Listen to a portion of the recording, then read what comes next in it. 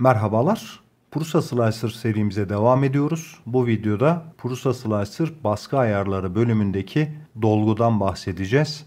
İyi seyirler.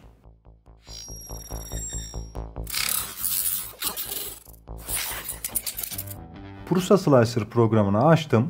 Baskı ayarlarına geldim dolguyu işaretledim. Bu sayfada dolgu bölümüne geldiğimde ilk seçenek dolgu yoğunluğu oluyor. Bu zaten tahmin edebileceğiniz gibi seçmiş olduğumuz dolgu tipinin model içerisine yüzde kaç uygulanacağını gösteriyor. Bunu sıfır ayarlarsak dolguyu hiç yapmayacaktır. 5 olarak ayarlayalım. Tabloya gelelim. Sağ tıkla şekil ekle kutu dedim. Bunu biraz da büyütelim. Şuradan ölçeklendirerek büyütelim bu sefer. Dilimle dedim. Bakın şu anda %5 benim ayarlamış olduğum dolgu tipinde %5 olarak yaptı. Bunu %10 yaparsam yeniden dilimledim. Gördüğünüz gibi dolgu yoğunluğu artacaktır. Dolgu yoğunluğunu şuradan da değiştirebilirim. Bakın sağ tarafta dolgu diye bir bölüm var. Buradan dolgu yoğunluğunu değiştirebilirim. Şimdi %70 yaptım. Dilimle dedim. Artık modelin dolgusu %70 oldu. Aynı şekilde buradan sıfırlayabilirim. Dilimle dediğimde modelin içi boş bırakılacaktır. Bir diğer dolgu ekleme yöntemini zaten önceki videolarımızda anlatmıştım. Oraya çok fazla girmeyeceğim. Bu dersin konusu dolgu olduğu için dolgunun kendisinin nasıl yapılması gerektiği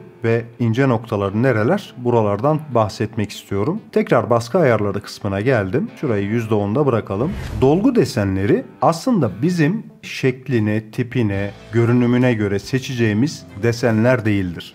Benim 3 boyutlu yazıcıyla uğraşmaya başladığım zamandan beri gördüğüm eksiklerden biri budur. Herkes şekline, tipine göre dolgu seçiyor. Biz dolguyu malzememize dayanıklık katsın diye veriyoruz. Aynı zamanda 3 boyutlu yazıcılar üretim yaparken çok fazla zaman harcadıkları için zaman da bizim için önemli bir parametre haline geliyor. Ki yazdıracağımız malzeme türü de önemli ve yazdıracağımız model de önemli. O yüzden seçeceğimiz dolgu tipi, dolgu yoğunluğu kullandığımız malzemeye göre, basacağımız şekle göre değişecek. Buradaki dolgu desenlerinin elbette hepsini anlatmayacağım. Fakat dikkat edilmesi gereken ya da sıklıkla kullanılan malzemelerden olan örneğin PETG filament, TPU filament ya da PLA filament gibi malzemelerde hangi modelde hangi dolgu tipini seçmeliyiz? Bu dolgulara biraz daha yoğunlaşmak istiyorum. Çünkü hepsini anlatırsam gerçekten çok fazla zamanımızı alacak.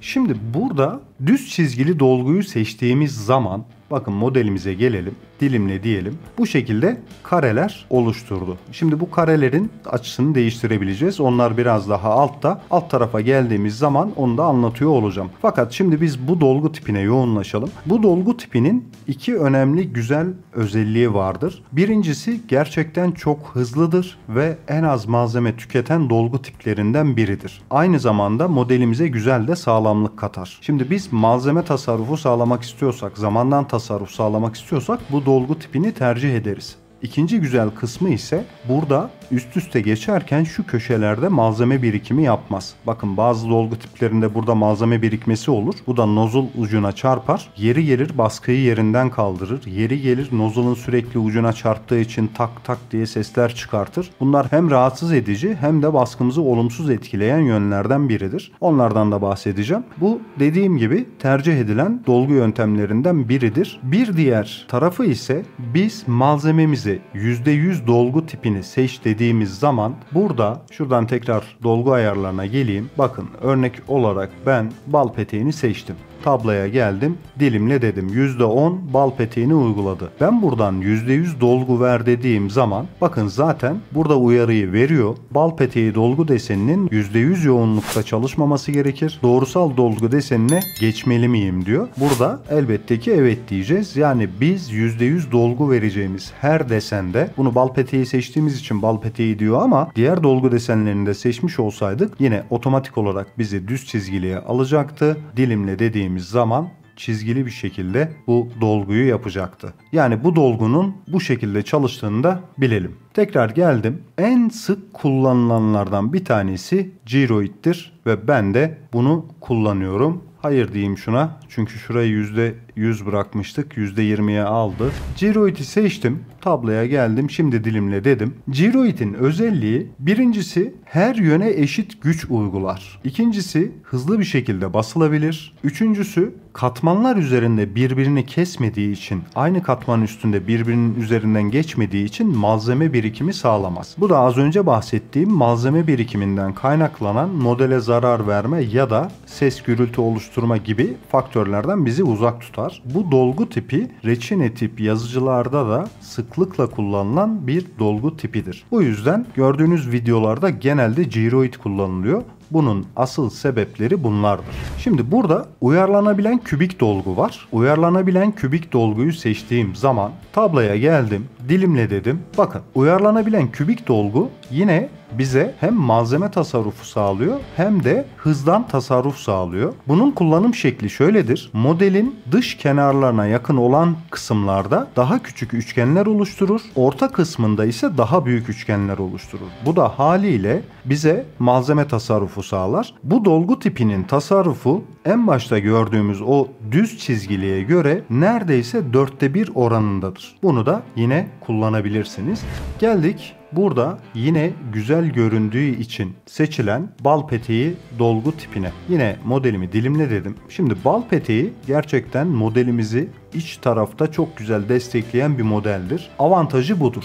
Fakat dezavantajı diğer dolgu türlerine göre %25 daha fazla malzeme harcar ve aynı oranda daha fazla zaman harcar. O yüzden Bakın bunun yazılış şekli şöyledir. Şöyle yapalım. Yan yana yan yana yazdığı için birbirini kesmeden de gittiği için çok fazla zaman harcar. Bundan dolayı hele de yüksek yoğunluk seçerseniz bakın %20 seçtiğimde bile bu şekilde. Yüksek yoğunluk seçerseniz bu baskı sürenizi ve malzemenizi epeyce bir harcayacaktır. Bu dolgu tipinde buna dikkat etmelisiniz ama mukavemet önemli diyorsanız gerçekten güzel mukavemet sağlar. Tekrar baskı ayarlarına geldim. Arşimet akorları. Tabla sekmesine geldim. Şimdi dilimle dedim. Bakın Arşimet akorları merkezden dışarıya doğru dairesel bir çizgi şeklinde ilerler. Biz bunu sıklıkla nerede kullanacağız? TPU filament yani esnek filamentleri kullanırken bu dolgu tipini kullanacağız. PLA filamentte bunu kullanırsak bize faydadan daha çok zarar sağlayacaktır. Çünkü modelin yan duvarlarına destek çok fazla sağlamayacak. Esnek filamentte hem esnemesini istiyorsak hem de içinde dolgu olsun istiyorsak burada Arşimet akorlarını kullanabiliriz. Yine aynı mantıkta çalışan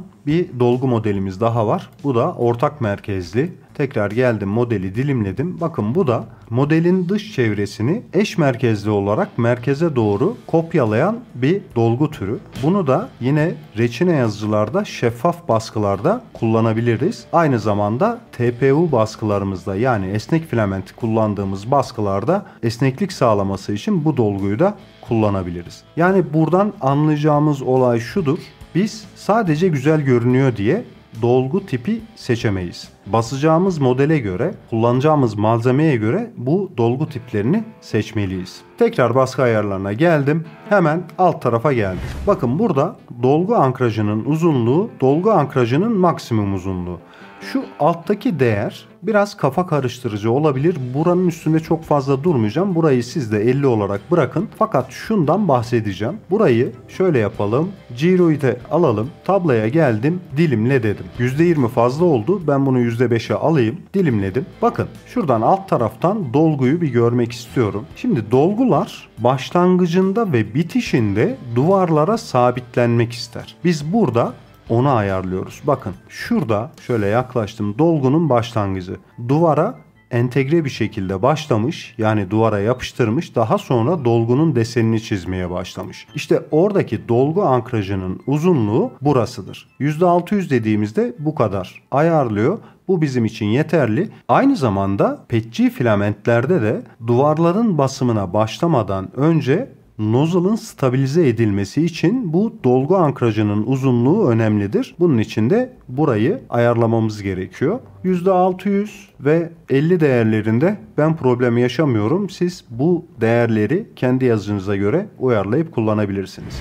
Geldik üst dolgu deseni monotonik en kullanışlı olandır. En güzel kapatmayı yapandır. Ben zaten monotonik kullanıyorum. Sizin de monotonik kullanmanızı tavsiye ederim. Hemen hızlıca diğerlerinden de bahsedelim. Hizalanmış doğrusal dediğimiz monotonik çizgileri birbirine bağlayarak devam eder. Hizalanmış doğrusalsa biraz daha farklı çalışır. Bu artık kullanılmayan bir özellik. Ortak merkezli dediğimiz bunlar artık şuradan gerisi biraz daha yüzeyde desen olarak kullanılan dolgu desenleri. Şimdi dilimle dedim. Bakın modelin en üstüne gelelim. Burada kapatmayı bu şekilde yaptı kare gibi bir kapatma yaptı. Bazı modellerin üst tarafında gerçekten güzel görünüyor. Burada en çok tercih edilen de Hilbert eğrisidir. Bazen YouTube'da falan görürsünüz. Böyle kare kare şekilde değişik, tatlı bir görüntü sunar. Modellerinizin üzerinde şık bir görüntü sağlayabilir. Bunu da deneyebilirsiniz. Başka bir handikapı yoktur. Alt tarafa geldim.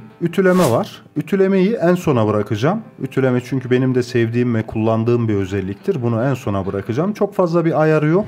Baskı süresini etki eden ayarlar kısmına geldik. Her en katmanda bir dolgu yap. Şimdi burası 2 yaptığım zaman ya da 3 yaptım. 3 olarak kalsın. Baskı ayarlarına geldim. Şimdi şu üst kapatma bizim için önemli değil. Giroid. Tamam %5 olarak kalsın. Tabloya geldim. Dilimle dedim. Şöyle modelin orta taraflarına geldim. Ben orada 3 seçtim. Şu katmanda şu dolguyu yaptı. Bir katman yukarıya çıktı, dolguyu yapmadı. Bir katman daha yukarıya çıktık, dolguyu yaptı. Yani arada bir katman boşluk bıraktı. Fakat şu anlama gelmiyor bu. Araları boş kalacak diye düşünmeyin. Burada biz seçtiğimiz katman yüksekliğine göre dolgunun yoğunluğunu yani nozzle'dan çıkış yoğunluğunu artırıyor. Daha kalın çizgiler çizerek alttaki dolgu yapmadığı katmanı absorbe edip onun altındaki katmanla yapıştırıyor bunu. Yani filament çıkışını artırıyor. Daha kalın çizgiler çekerek gene birbirine yapışmayı sağlıyor. Bu da hızlı bir baskı yapmamızı bize sağlıyor. Bunu da yine deneyebilirsiniz. Hemen geldik. Bunu bire aldık. Bir yaparsak da her katmanda dolguyu yapa yapa gidecektir. Her en katmanda bir katı dolgu yap dediği kısımda ise bakın bunu 4 dedim. Tabloya geldim. Şimdi dilimle. Bakın şurada katı dolgu var. 1, 2, 3, 4 katmanı attı. 4. katmanı atarken bir katı dolgu daha yaptı. 1, 2, 3, 4. katmanda katı kapatma dolgu yaptı. Bu şekilde kullanabilirsiniz. Yani ihtiyacınız olursa böyle bir ayar da var. Evet geldik doldurma açısı. Bakın bu bizim hem alt dolgu desenimizi hem üst dolgu desenimizi hem de normaldeki dolgu desenlerimizi etkileyen bir değer. Ben buradan şimdi şunu düz çizgili yapayım.